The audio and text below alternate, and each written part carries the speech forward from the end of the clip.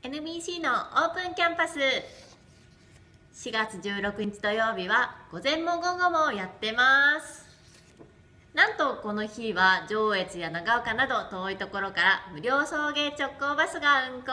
学校に着いてから美味しいランチも食べれるよ。